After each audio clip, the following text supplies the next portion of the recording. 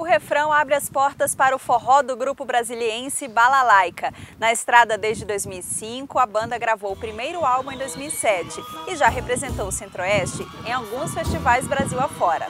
Você confere agora o som da banda Balalaica. Simbora! Uou! Quero ver todo mundo aí!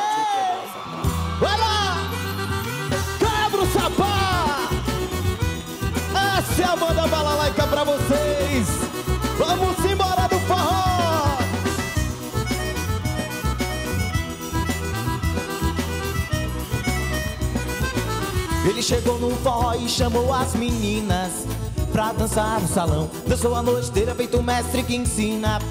Forró, shot, baião, rocio acelerado. Caprichou no baião. Dançou um shot bem levado. Arrastando o pé no chão. Quando pegou a morena bem parceira pra dançar. Eu parei pra olhar. Tem um show de academia, fez o sapato quebrar. Fez o sapato quebrar. O forró da balala quer de quebrar o sapato. É de quebrar o sapato, forró da balala que é de quebrar o sapato. Quebra! É de quebrar o sapato, o forró da balala que é de quebrar. Vá! É de quebrar o sapato, o forró da balala que é de quebrar o sapato. É de. Simbora!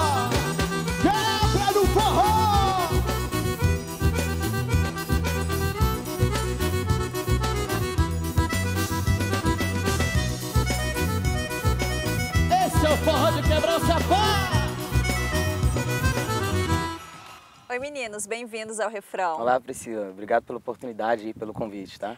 Rodrigo, apresenta a turma pra gente. A banda é composta pelo Vitor no baixo, Didio na zabumba e percussão, Vavá na sanfona, tem o Edgar na guitarra, o Bahia na batera e o Vinícius da percussão triângulo e eu faço voz e violão, tô aqui improvisado hoje no triângulo.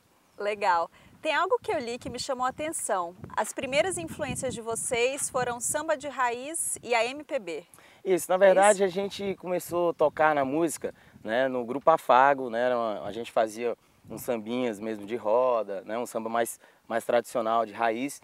E aí a gente foi adaptando aos shows o forró pé de serra, né. Na verdade eu só tocava cavaquinho, não cantava, era um outro vocalista. E, e aí a gente pegou e começou a adaptar, eu comecei a cantar umas duas, três musiquinhas e aí começou a ter aceitação. Cantava muito Fala Manso, o pessoal, nossa, seu time de voz é parecido com o do Tato e tal. É mesmo, E aí- lembra? Não tinha reparado isso. E aí a gente começou a tocar e no decorrer disso a banda, algumas pessoas foram saindo do samba, né? E Então com- essa não é a formação não original. é a formação original, na verdade era uma uma de serra que fazia o rebolo e tantã, e eu fazia o cavaquinho, o Vinícius fazia pandeiro. Depois quando a gente resolveu tocar forró, apareceu o Vitor, que é meu primo, né?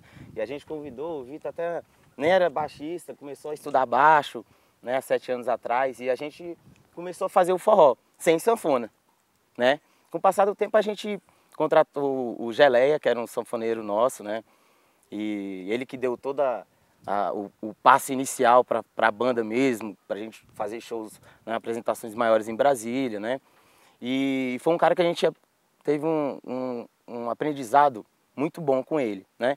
Depois disso a gente já, já passaram alguns músicos pela banda, né? Hoje a gente está aí com, com o Vavá na sanfona, o Didio, que é, é ex-abumbeiro do, do Forró Lunar, que é uma banda também de nome em Brasília. E adaptou também com a guitarra, que o Edgar chegou, a bateria também com o Bahia. Então hoje a formação já é de, de banda mesmo, né? Vocês mesclam o forró universitário com o pé de serra. Isso, a gente, na verdade, a gente faz o forró, né? O forró- Existe essa polêmica, né? É, o pessoal questiona muito essa Qual- questão que- do forró que que pé é o de forró serra, do forró... o que, que é o isso. forró pé de serra? Na verdade, isso aí é. As pessoas falam que o forró universitário vem da influência de adaptar o baixo no forró, o violão no forró, uma guitarra, uma bateria. Ele- Geralmente o pessoal fala que o legítimo forró pé de serra é o forró de trio. Né? Eu discordo um pouco. Eu acho que o forró pé de serra é, é aquele forró raiz, né? com aquelas letras mais E tradicionais. as letras são diferentes. Exato, que fala do, do suor, que fala de dançar descalço, Da que fala da raiz do- mesmo, do, do Nordeste, né? Nordeste. Então, assim, no meu ponto de vista é assim, eu posso estar até equivocado, mas é, é- eu já estou sete anos, mais de sete anos, no, sete anos como banda e como forrozeiro há quase dez anos. Então, assim, pelo que eu pesquiso, pelo que eu, meu entendimento, eu tiro essa conclusão. Então, assim, as pessoas criticam às vezes, ah, forró, forró o forró universitário não é forró. Não, forró, forró universitário é forró, porque a gente toca Luiz Gonzaga, entendeu? A gente toca vários trios, trio nordestino, entendeu? Trio virgulino, que são da raiz também, né?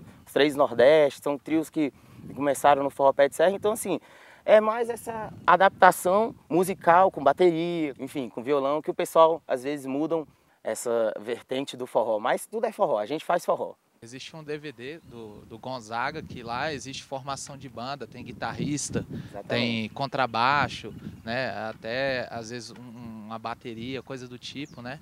Então, assim, é, essa essa polêmica fica nessa briga, né? Do forró universitário aí com forró pé de serra.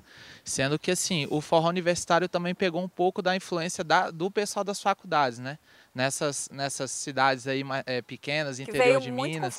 é, o Fala Exatamente. Que deu o pontapé, pontapé inicial, né? É, que, que foi quem carregou essa bandeira inicialmente aí, né? Eles, é, então assim, pegou essa ideia do forró universitário devido ao público, que era mais de universitários, né? Então é mais, é mais dessa influência que, que vem o nome forró universitário, né? Vocês sentem que há uma aceitação maior do forró universitário do que do pé de serra aqui em Brasília especificamente ou não existe isso?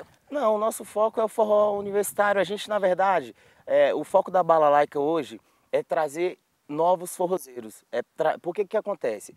O forró é uma cultura que ela, ela é pouco valorizada. Existe um grupo né, de forrozeiros e assim, aqui em Brasília é bem fechado. Então assim, o que acontece? A Balalaica tenta trazer novas pessoas, novos públicos, novos forrozeiros para o meio né? Porque acaba que, que para você fazer hoje um projeto de forró, a gente tem que contar com o público, né? Claro. E, e, as pessoas, às vezes, que gostam do forró, nem sempre podem ir. Então não é, é uma coisa que é diferenciada, né? Igual o sertanejo, por exemplo, que toda casa que você vai em Brasília tá estupidamente lotada. Então, assim, a gente, o projeto da Balalaica hoje é trazer novos forrozeiros. Então, assim, qual é a maneira da gente trazer esse pessoal? É a gente tocando coisa popular. Então, hoje a gente incrementa no show um MPB, uma música mais tradicional, de repente do axé que está estourada na rádio, a gente traz pro show um sertanejo. Vocês convertem isso no, no forró. forró. Não deixa de fazer o forró, a gente muda a estrutura da música para fazer um forró, entendeu? Então por quê? Porque a pessoa às vezes não gosta do forró, mas ela vê que a gente toca de tudo um pouquinho no forró, acaba que começa a frequentar os movimentos que tem em Brasília, entendeu? Então essa é uma maneira da gente trazer, é, de repente mostrar para as pessoas o que, que a gente faz e como é que é o forró. Entendeu? Tem shows que a gente faz uma apresentação mais popular e tem show que a gente já bota num repertório mais voltado para o forró, que é onde as pessoas já vão e já de repente já estão até no, no ambiente e falam, pô, é legal também, entendeu? Essa é a ideia da gente. Legal, meninos, a gente vai fazer agora um breve intervalo. Continue com a gente porque no próximo bloco tem mais banda Bala Laica para você. Não sai daí.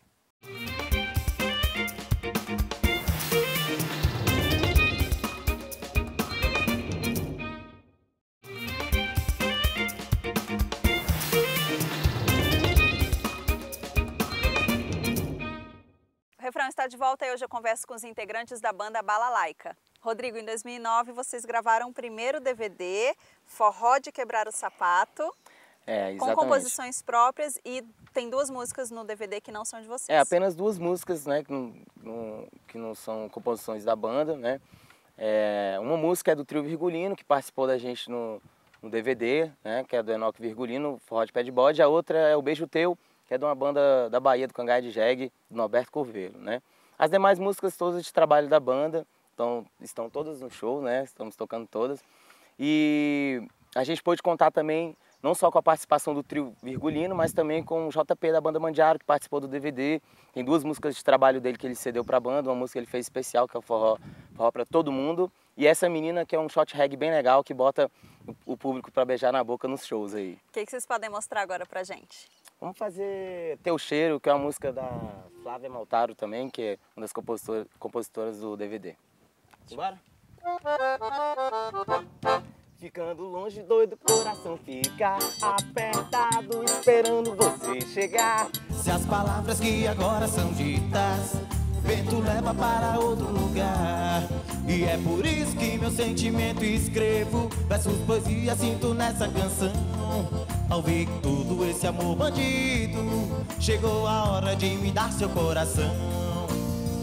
Vem me dar o cheiro, carinho pra eu me sentir bem. Nos teus lábios sinto o gosto do desejo, pra mim que vem. Vem me dar o cheiro, traz teu carinho pra eu me sentir ver. Nos teus lábios sinto o gosto do desejo, diz pra mim que vem. Vem me dar o cheiro, traz teu carinho pra eu me sentir bem. Lábios sinto o gosto do desejo, diz pra mim que vem. Ótimo, muito legal. Essa aí é muito pedida no show? Sempre tá tocando no show, né? Uma música, um shotzinho pra galera se apaixonar, né? Pra galera dançar coladinho. Tá sempre no show, com certeza. Quais são as maiores influências de vocês quando a gente pensa em forró? É, eu diria que o Fala Mansa é a principal, né? Não só Fala Mansa, como Rastapé, né? É, forró Sacana também, né? Voltado pro, pro forró universitário. Na verdade, foram as bandas que a gente se espelhou. E no Pé de Serra? No Pé de Serra, é, além de Luiz Gonzaga, né? Que é, que é, o, que é o né? rei, né? O mestre. A gente também toca, a gente espelha muito no Trinordestino. Imagino que em junho vocês devam fazer muitos shows, né? Qual é a média por conta do São João? Ah, no passado a gente fez ao todo, na- no São João todo, na faixa de, de 40 shows, né? Com os projetos que a gente já tem em Brasília, né? Esse ano também a expectativa é muito boa, graças a Deus. E aí vocês fazem em vários locais diferentes. Toda terça a gente está no Poisé, na 305 Norte, né? Na Asa Norte. E aos domingos nós estamos lá no Caribenho, que fica no setor de Clube Sul. Rodrigo, e quais são os projetos para esse ano? Vocês pensam em lançar de repente um outro CD? É, nós estamos pensando sim, até o final do ano a gente está lançando um, um novo CD com, com as atualidades, né, do que a gente já falou anteriormente, com essa tudo que tá, tá na moda, tudo que tá estourado, que para trazer o, o público para o forró, para trazer novos forrozeiros, a gente está pensando em fazer um, tá pensando não, irá acontecer uma gravação de um CD agora até o final do ano, com certeza já vai estar tudo prontinho. Rodrigo, você quer deixar contato, e-mail, telefone da banda? Vamos, vamos sim. É, Nosso site é o balalaica.com.br, né? Nós temos o Twitter também, nosso canal no Twitter que é arroba balalaica. No Facebook, facebook.com barra banda balalaica. Nosso telefone de contato é o 61 786 9912. É, lembrando também que tem nosso e-mail de contato, né? que é o- é contato arroba balalaica.com.br, né? Quem quiser também mandar algum e-mail a respeito lá, é só entrar em contato com a gente. Meninos, obrigada pela presença no refrão, foi ótimo e sucesso na carreira de vocês. Obrigado, a gente agradece o convite ao refrão, tá? TV Justiça. Muito obrigado mesmo. Não sai daí porque no próximo bloco tem uma conversa sobre música e direito e é no quadro Pauta Musical. A gente volta já.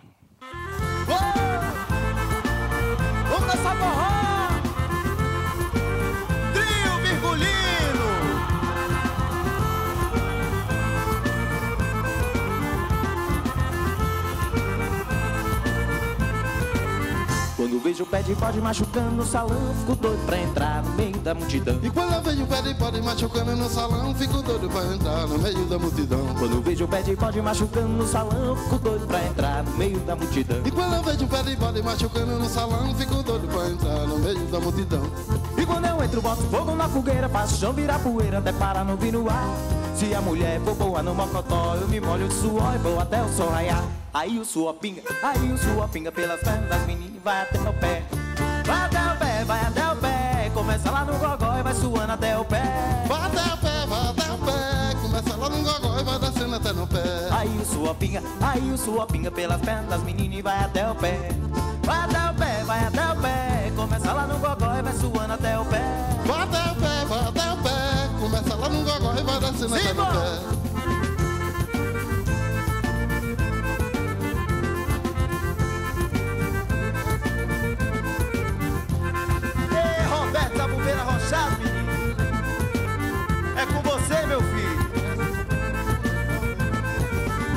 Quando eu vejo o pé de pode machucando no salão, fico doido pra entrar no meio da multidão. Quando vejo o pé de bode machucando no salão, fico doido pra entrar no meio da multidão. Quando eu vejo o pé de pode machucando no salão, fico doido pra entrar no meio da multidão. Quando vejo o pé de bode machucando no salão, fico doido pra entrar no meio da multidão. E quando eu entro, boto fogo na fogueira, faço o chão virar poeira, até parar no vir no ar. A mulher for boa de mocotó, me molho de suor e vou até o sol raiar. Aí o suor pinga, aí o suor pinga pelas pernas das meninas e vai até o pé. Vai até o pé, vai até o pé, começa lá no gogó e vai suando até o pé. Vai até o pé, vai até o pé, começa lá no gogó e vai descendo até no pé. Aí o suor pinga, aí o suor pinga pelas pernas das meninas e vai até o pé.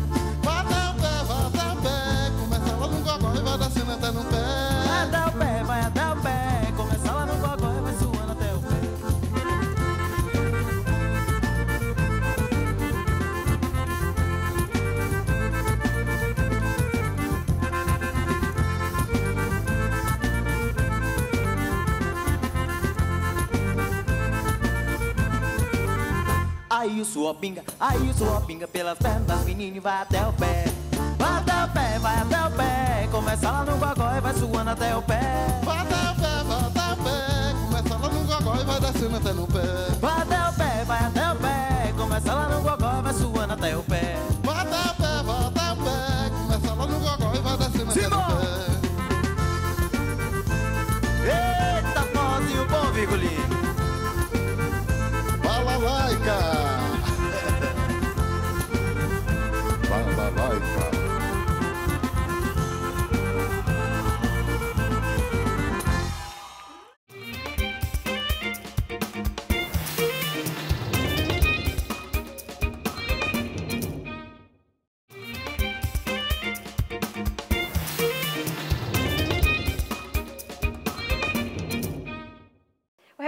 De volta e é hora da nossa pauta musical.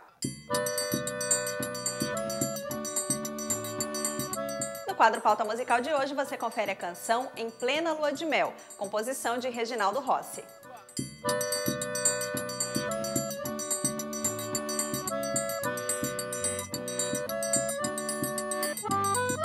Toda vez que o seu namorado sai, você vai ver outro rapaz. Olha, todo mundo já está comentando que o seu cartaz está aumentando.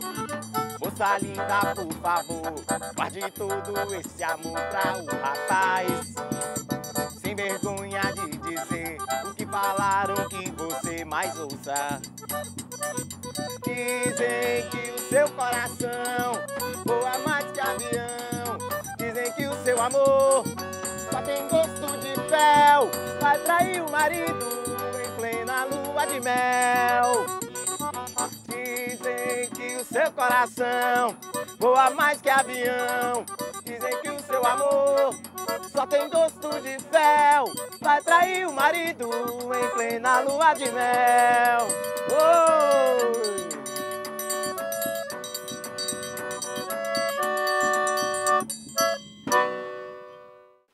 Conversar sobre essa canção que você acabou de ouvir, eu recebo a advogada de família Vânia Saraiva. Vânia, é um prazer recebê-la no refrão hoje. O prazer é todo meu. Vânia, a música do Reginaldo Rossi fala sobre traição. Existe diferença entre adultério e traição? Existe. A traição, né, pelo Código Penal, é um delito, né? E dentro da, da- do adultério, na verdade, a distinção são coisas distintas, né? Porque adultério é o quê? É uma forma de você infringir, tá? É, é uma relação conjugal. Então, é, quando se fala né, em, em delito, é, você está falando de um crime, né? Aí o adultério, ele não é um crime hoje dentro da nossa legislação. Ele já foi dentro do Código Penal. Deixou de fazer parte em 2005, o adultério. Isso, o adultério deixou de, de fazer parte dentro do código, do Código Penal. Então, o adultério, na verdade, é quando você está praticando um ato, tá? Que vai o quê? Vai infringir o seu dever de fidelidade. A traição, você pode trair não só nos aspectos financeiros, nos aspectos né, eh, de amizade, não, não necessariamente nas relações de família. O adultério já é especificamente na questão da, das relações familiares. A pessoa que se sente ofendida, que foi traída, pode entrar na justiça e pedir uma indenização por danos morais.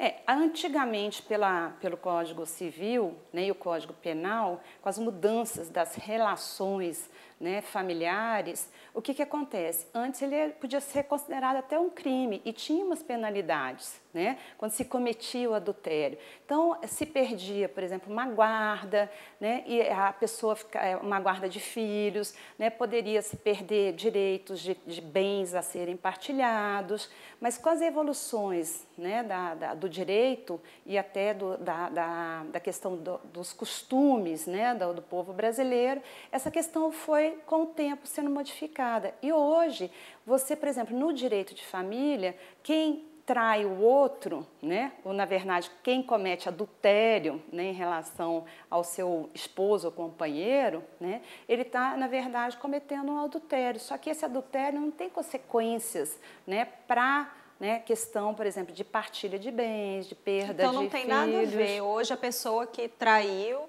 não perde mais qualquer direito. Não, você não falou perde, de não filhos, perde. bens. Então... É. Aí você me pergunta, né? Qual a consequência disso, né? Da pessoa, ah, eu né, cheguei em casa, peguei minha esposa com outro, né? Aí, aí você entra num aspecto, né, da, da, da, do dano moral, tá? Porque você passa o quê? A cometer, a ofender, né, a, a, o aspecto, o princípio, a moralidade da pessoa traída, tá? Da pessoa que, né, é, ele se sente humilhado. Então essa humilhação, essa ofensa, tá? Ela gera hoje uma reparação de um dano, tá? Então você fala assim, mas essa reparação de dano, ela tem como oferir? Não, ela pode reparar parte né, da, da, sua ofensa, do que você se sentiu ofendido, humilhado. Então, existem casos que, por exemplo, você, você vai ouvir muito na, na, na mídia ou nas decisões do TJ, STJ, né, pelo país afora. Por exemplo, tem uma situação, uma coisa é você chegar realmente pegar, né, ou descobrir uma pessoa, né, ou, ou o homem ou a mulher com outro, por exemplo, na sua cama, né? Isso é um adultério crasso. Pelo refrão da música, né? em plena lua de mel, então você imagina. Pensa bem, você criou toda uma expectativa. Tá? Mas se você olhar dentro de um contexto onde, por exemplo, você coloca um complicador, né, que pelo refrão dá a entender que a pessoa já era uma pessoa que tinha fama de namoradeira. Né? Então, coloca bem, se ela tinha fama, a pessoa que vai casar, constituir uma família com uma, com uma moça desse porte, desse perfil, né, você há de convir comigo que não é passível né, de ofensa, que não é um passível, né, não, não vai... A pessoa já tinha uma ideia. Já então... tinha uma ideia. Então, qual a humilhação que ele teria? Entendeu? Uhum. No, no, caso do refrão da música, né? Aí o juiz, na hora de aferir, né, se a pessoa tem ou não tem esse direito, né, de uma reparação, de um dano moral, dessa humilhação sofrida, porque ele foi lá, criou expectativa, constituiu toda uma família, né, vai, vai, né, em plena lua de mel, né, você descobre, mas na verdade, se a pessoa já tinha essa fama, então fica difícil do juiz realmente conceder, porque aí não existe um nexo de causalidade, porque a pessoa já tinha ciência de que a moça era namoradeira. Aí o juiz não condena na reparação do dano. Então a consequência hoje né, da, da, da traição, que seria o adultério, né, na relação conjugal, na relação familiar, tá? ou no caso de união estável, no caso de casamento, né, que é o caso do refrão da música. Então, é, você, na verdade, né, a única, hoje, a única consequência legal é realmente a, a reparação do dano moral. Tá bom, Vânia. Tá obrigada bom? pela presença no refrão. Obrigada a vocês. O refrão de hoje fica por aqui, mas se você quiser pode conferir este programa pela internet. É só acessar youtube.com/barra programa refrão. Ou se você preferir, mande uma sugestão com a sua música predileta que a gente analisa aqui. É só enviar um e-mail para refrão@stf.jus.br. Na próxima semana a gente tem um encontro marcado e eu espero por você. Refrão, um jeito diferente de escutar música. Vai lá! Quebra o sapá! Essa é a banda balalaica pra vocês! Vamos embora do forró!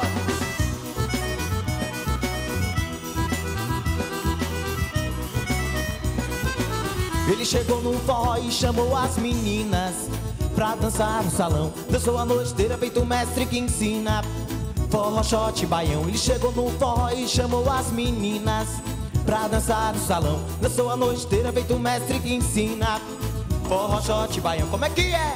Fuzil acelerado Caprichou no baião. Dançou um shot bem levado